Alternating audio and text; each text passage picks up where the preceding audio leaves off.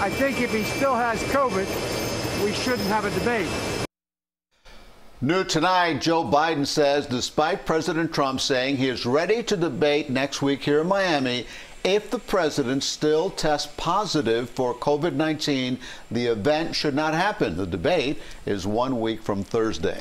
Meantime, the president is apparently still governing while in quarantine at the White House. This afternoon, via tweet, he said he's abruptly ending all negotiations over a new federal stimulus package. He says Democrats' demands for state and local funding were the breaking point. The president says a bill will only be passed, quote, after I win. Also new tonight, another COVID-19 infection in the president's inner circle. Top White House aide and policy advisor Stephen Miller just tested positive. The president's doctor says he has zero symptoms and his vital signs are stable. But that was the last official update about 10 hours ago.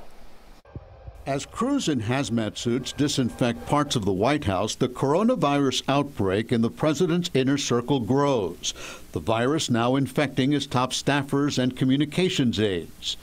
At the Pentagon, military generals, including the chairman of the Joint Chiefs of Staff, are working from home.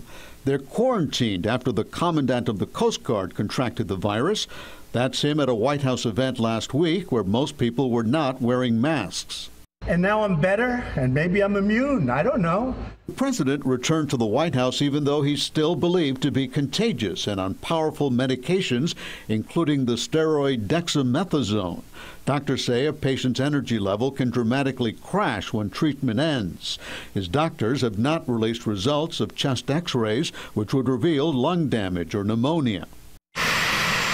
After returning to the White House in a highly choreographed made for TV spectacle, the president removed his mask, stood on the White House balcony, and told Americans the virus is not that big of a deal.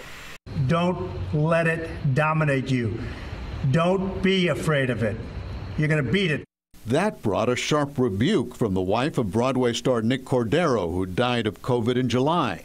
Let it dominate your life no one's letting it. Nick didn't let it. It wasn't a choice. Have some empathy to the people who are suffering and grieving. The president also sent out a tweet comparing COVID 19 to the flu, adding, We have learned to live with it, just like we are learning to live with COVID.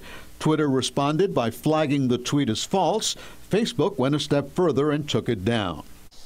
Well, tonight, the few staffers still working at the White House are wearing full protective equipment when going near the president or the first lady.